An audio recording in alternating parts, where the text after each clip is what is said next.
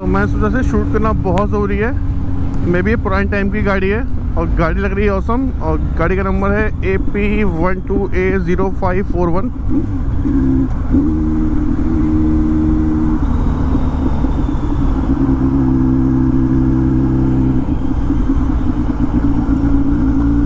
और गाड़ी है बहुत औसम इस गाड़ी को देखिए आप। गाड़ी है रिसेंट ब्लू की। मे भी शायद से जो विदेशी गेस्ट हैं उन लोग घुमाने के लिए, ताकि वो ज़्यादा से ज़्यादा एट्रैक्ट हो, ज़्यादा दिन रेडिसन ब्लू में रुकें।